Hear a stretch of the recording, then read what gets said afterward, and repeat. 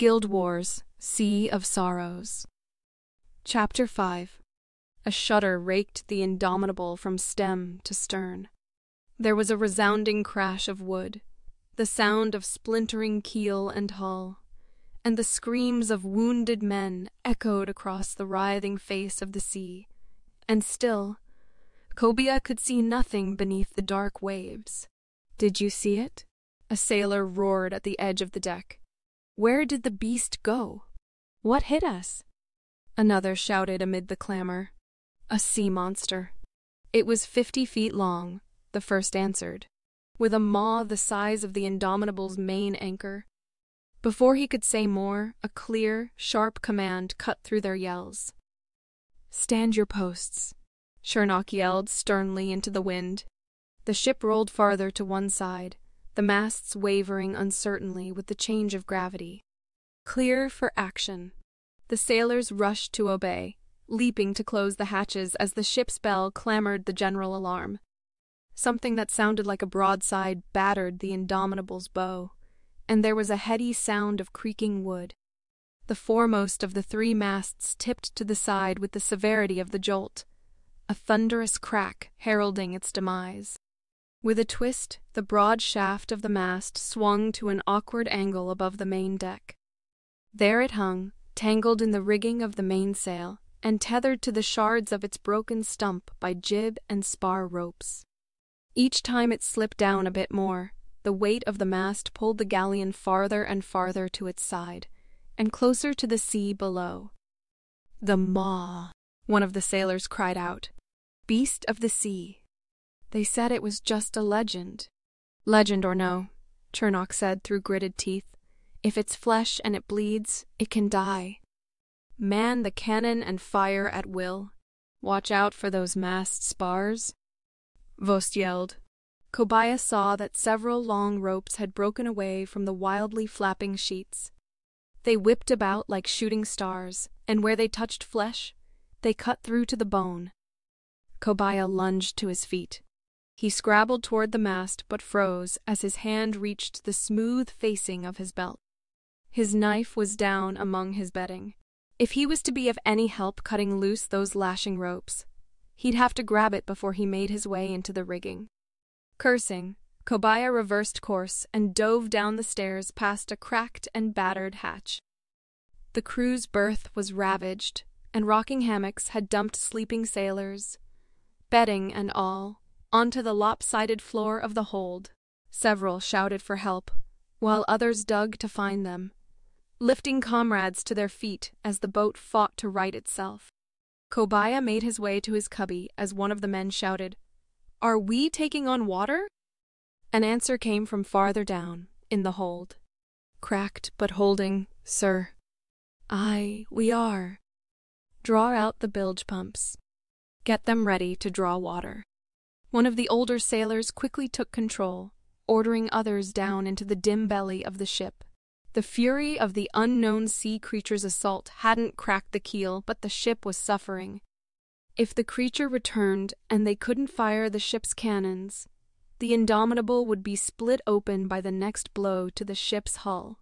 Kneeling by the crew cubbies, Cobiah jerked bedding out, dumping everything on the floor in his haste to get to the knife. As his hand drew it out by the white hilt, his sister's rag doll tumbled from his pillowcase onto the floor. Cobiah stared at the rag doll. Was it a sign from the gods? Goddess Dwayna, protect our ship, Cobiah thought, sweeping up the doll. Vivienne, if you're an angel now, keep a weather eye out for me. He began to stuff the doll into his vest, but realized quickly that it wouldn't fit beside the captain's astrolabe. Instead, he tied Paula to his belt with the scabbarded knife and dashed back onto the main deck. The first mate, Chernock, stood near the rear of the ship. She drew a leather tawse from her belt and shouted orders that cut through the pandemonium. She called for the men to bring hoses and water, thumping stunned sailors with the heavy, knotted leather if she caught them standing still. Her expression was as hard and cold as ice. Something to the rear of the ship was smoking, black wisps trickling out from beneath the quarterdeck. Cobiah grimaced. Fire on a ship was more dangerous than sinking. Fire would eat you faster than the sea would swallow you, and if those flames reached the black cannon powder, they'd all be done for. Cobiah, Sethus waved to catch his attention. The young sailor was standing by the tottering foremast, sawing desperately at a thick sheet of sail. If we don't cut this free, the canvas will take on water. The weight will tip us over. He hacked at the ropes and tarpaulin with great sweeps of his long knife. Grenth's mercy, help me. There was so much going on all around him that for a moment Cobiah froze. But in that moment, his anger rose, and he felt the same stubborn rush that had come over him when he was fighting Tosh on his first day aboard. Cobiah set his feet against the planks and ran forward through the sloshing water, hurling himself past lashing ropes and over slick boards with a lack of care that bordered on the suicidal. His friend needed him. Everyone else was dealing with the fire in the rear or the bilges below decks. A few stood at the side of the ship, trying to pull their fellows back aboard before they vanished into the black waters of the Sea of Sorrows. Vost was below. The first mate was concentrating on the flames. Captain Whiting clung to the ship's wheel on the forecastle, his face as pale as the sail that dragged, heavy and drawing water, against the side of the Indomitable. His lips moved, but the sound emanating was too soft to distinguish between prayers or orders. Whimpering and wide eyed, the captain tightened his arms about the many spoked rudder wheel and did nothing at all. The mast wavered and the ship shuddered again. If we can cut the rigging free, Sethus panted, the mast will carry away the sail. Spray and panic sweat plastered brown hair to his forehead as he chopped wildly at billowing yards of loose canvas. I'll cut this part. Can you climb to the yardarm at the top of the mast and slice the crossropes free? Nodding grimly, Cobiah slithered beneath the sail. He gripped the unsteady trunk of the mast and studied the damage. The trunk hadn't come entirely free of its base, but it hung half shattered, rippling with its weight. It was definitely unsafe to climb, but if he didn't try, the sail fabric would take on water, and the ship would capsize. Forget the fire and the bilges, even the awful sea creature that threatened them from below. If the ship rolled, the crew would die to a man in the icy sea. Cobiah wrapped his hands with sharkskin and pressed the palms to the wooden beam. There was still tension on the mast from the thick ropes twined about its yardarms, interlaced with the other masts of the great galleon. As he'd done a hundred times before, Cobiah shimmied up the trunk, grasping rope and netting, and pushing his wrapped hands against the slick, wet wood to get some faint purchase. The ship tossed beneath him like a horse testing its reins, and the thick smell of smoke clogged his nostrils. He could hear the shouts below on the deck. Captain Whiting seemed to have found his voice at last, if not his sanity, and was yelling orders to fire into the waves. The heavy guns roared. Sparks flew, and to the starboard side of the galleon, a plume of white sea foam sprayed up from the charge. Gun crew, Cobiah heard the captain shriek. Raise the level. Fire again. We're consigned to bloody that beast by the king of Kryta himself, and by Balthazar's dogs. We'll do it even if it sinks us.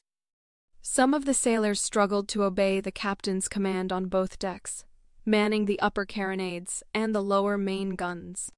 Others jumped to ready a new fuse, pushing the black rope into the cannon's small touch hole. After powder and a heavy ball had been rolled down the barrel, one of the sailors brushed a handheld torch to the fuse, and within seconds, the mighty cannon thundered its massive bellow of deadly flame. Now Cobiah could hear the picket fire of the smaller guns, carronade blasts pounding out a martial rhythm. He risked a bit of balance to glance down at the deck below. The fire in the rear cabin had been put out, but smoke still trailed up from the windows. Sailors clustered about the guns, heaving powder and shot into the glowing hot mouths of long barrels. Sethus was nearly finished cutting the ropes to one side of the great mast.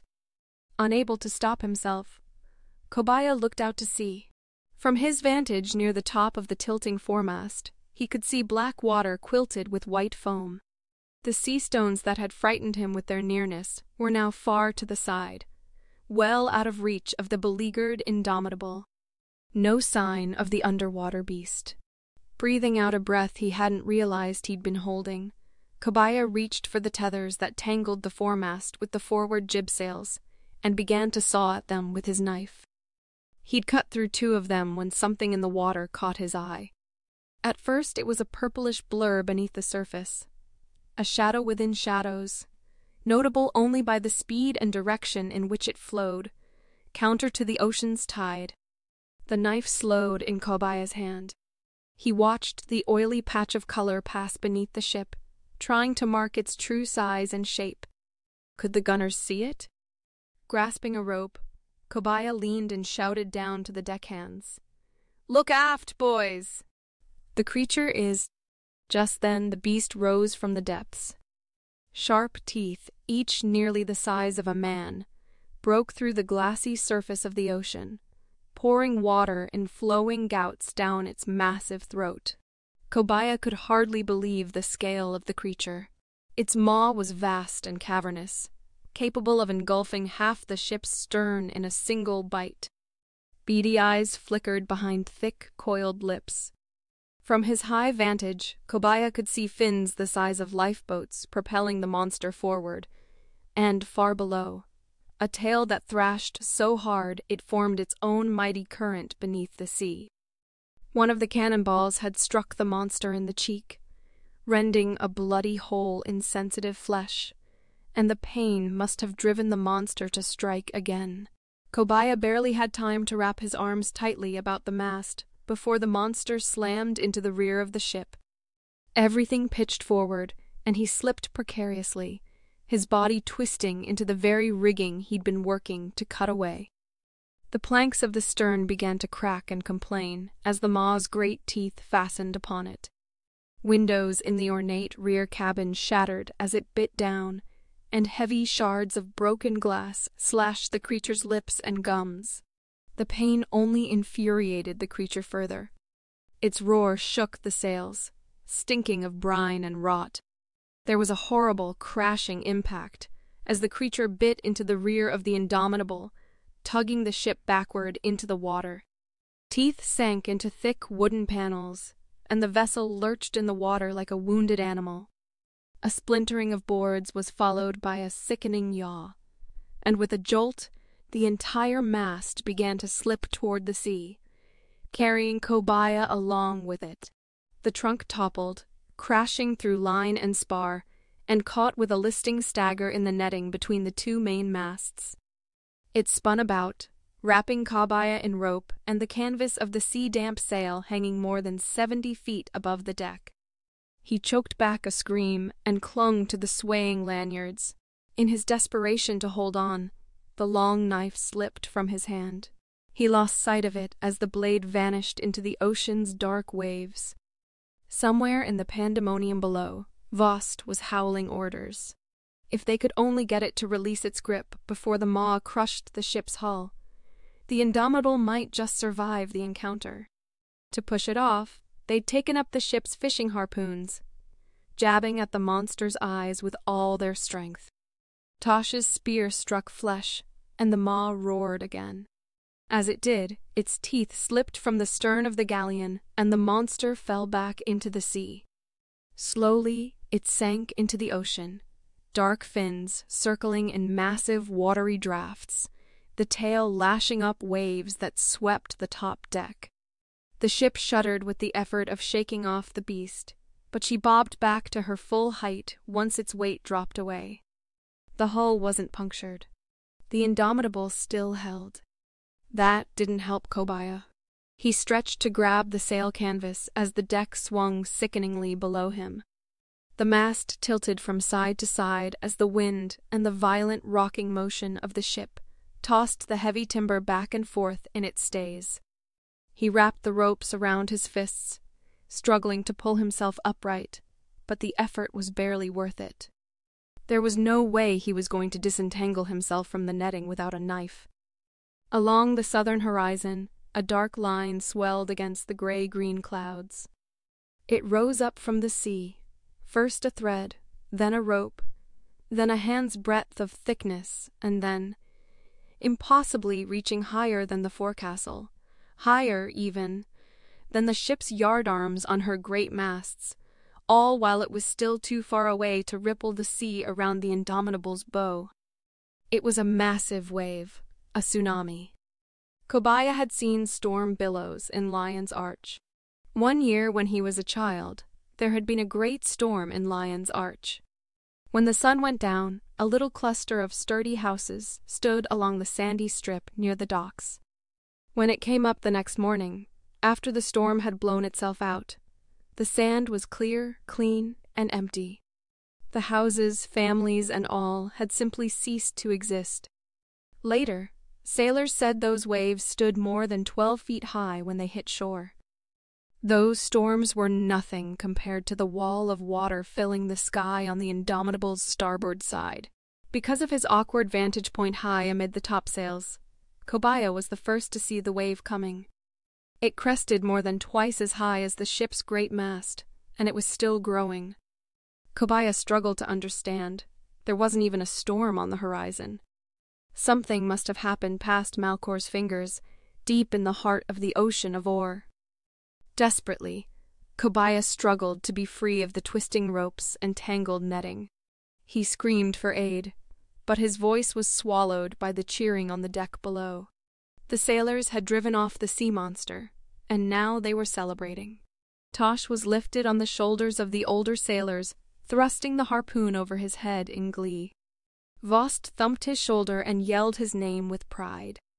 They were cheering far too loudly to hear Cobiah. Only Sethus remained below the broken mast, chopping desperately at stays and ropes to separate the sinking canvas from the galleon's rigging. He looked up at Cobiah, white faced. Hold on, Cobiah. Don't let go of the mast. Seconds were passing, but they felt like hours. The sailors never even saw the wave until it was too late. It rolled across the ocean's surface as fast as flickering lightning, closing the distance in breaths. The wall of water was curved at the top, snarling with white foam, sweeping aside everything in its path. The ocean dropped beneath them as the tsunami pulled close, and the Indomitable groaned and settled in the water. Cheers turned into shouts of fear as the sailors finally saw the wave. Cobiah's stomach whirled, sickened by the motion of the great galleon in the ragged swell of water. The tsunami bore the ship aloft in slow motion, pitching her inexorably forward.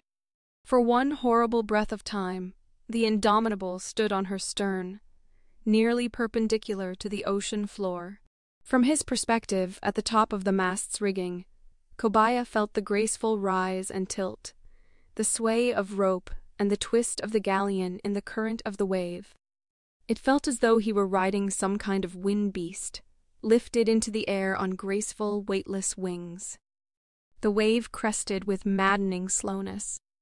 If there were screams on the deck below, they were muffled by the sound of rushing water and Cobiah couldn't hear them.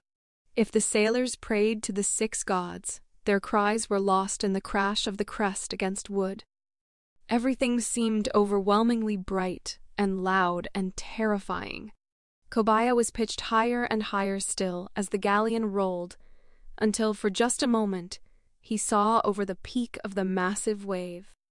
There, in the center of the darkest, deepest ocean in the world, at the very heart of the Sea of Sorrows. Cobiah saw something that should not have existed.